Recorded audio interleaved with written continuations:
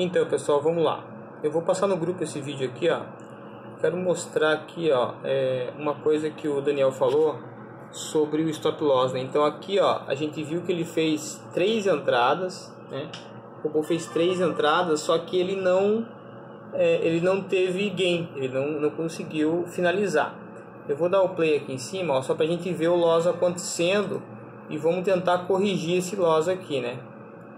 Então, ó, ele continua, ó, aqui tá o, o ó, ele deu loss, né? então ele perdeu R$ 1.800. Então, o loss full, né? O loss completo que a gente fala, o pior loss, né? Que é quando você perde todos. Esse robô aqui, ó, ele tá, deixa eu fechar aqui, ele tá com, deixa eu ver aqui quantos pontos ele tá de loss. Vamos, vamos ver aqui, ó ele tá como lá no Trello, ele tá como Amandinha, se não me engano.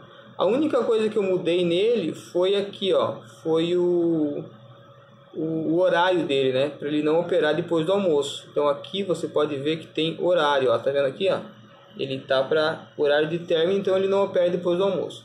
Só que mesmo assim, dia 12 ele tem um loss. Dia 12, não, dia 10 do 12 do mês, eu coloquei um, um, um backtest aqui de, de é, é, 90 dias, né? 3 meses.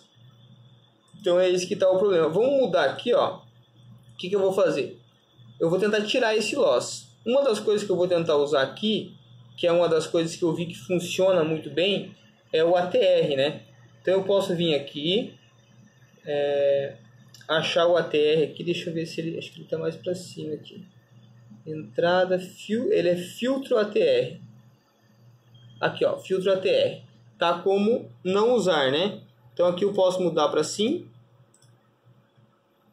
E aqui ele já está configurado 150 e 400. Então eu vou manter isso, vamos manter é, o 150 e o 400 para ver se para ver se ele passa esse loss, para ver se ele não dá loss. Então vamos aqui, né? Aqui tá as configurações, tá certinho, ó do dia 12, do dia 10, desculpa, ao dia 11, né, do ano passado. Então, para a gente não pegar esse loss, para não dar loss. Então, vamos iniciar aqui, né? E vamos lá no gráfico, ó. Opa, aqui ele já está no modo... Ah, ele já está no modo é, visual, né? Então, a gente já consegue ver é, ao vivo, vamos dizer assim, como que ele está como que ele tá funcionando. Então é, aqui ó, ele já pegou dia, dia 10, né? Começou a fazer o trade dia 10. Vamos ver se ele vai. Vamos ver se ele vai entrar certinho, né? Vamos ver se ele vai. Se ele vai. Se ele vai pular. Olha que interessante. Aqui, ó.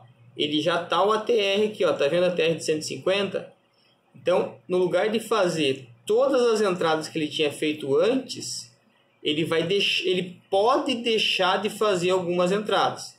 Então o teu lucro pode ser menor também. Só que é melhor você ter um lucro menor do que você perder ali. Ali tinha dado acho que R$ 1.800 de loss, né? De, de perca. Então é, é, vale a pena você deixar de ganhar um pouco do que você perder muito, né? Então vamos ver aqui como que ele vai como que ele vai se comportar. O horário aqui tá 10 horas da manhã, ó. 10 horas da manhã. Ele tá, ó, 11 horas e ele só vai fazer a entrada aqui se o, o ATR tiver maior que 150. Ó, tá vendo o ATR aqui, ó, 139, né? Então ele, ó, o ATR de 150 bateu ali, ele podia ter feito uma entrada aqui, mas não fez que na verdade aqui ele não bateu os parâmetros da parte superior aqui. Mas olha que interessante, a volatilidade em si, né, o ATR, está bem baixo. Então eu acho que ele não vai fazer essa entrada. Vamos olha, ele fez uma entrada aqui, o ATR tava, o, o ATR autorizou ele, digamos assim, a fazer a entrada. Deixa eu até dar um pause, ó. Olha que bacana, pessoal. Aqui, ó, o ATR estava mais que 150, tá vendo? Então teve uma, uma possibilidade de fazer uma entrada, ele entrou e saiu bonitinho. Entrou vendido certinho. Ganhou, ó, aqui você pode ver, ó, ele já ganhou os 16 reais dele lá e é, teve 100% de acerto. Então isso é bacana de ver que pelo visto aqui ele não fez aquela entrada do loss. Tá entendendo? O filtro ATR em 150 fez uma fez o filtro e não deixou ele perder os 1.800 reais. No lugar de perder os 1.800 ele ganhou 16 reais. Vale muito mais a pena você ganhar pouquinho, né? Ganhar mil e, e ganhar 16 reais do que perder mil e 1.600 como tava lá, né? Então, é, filtro ATR, pessoal, é vida.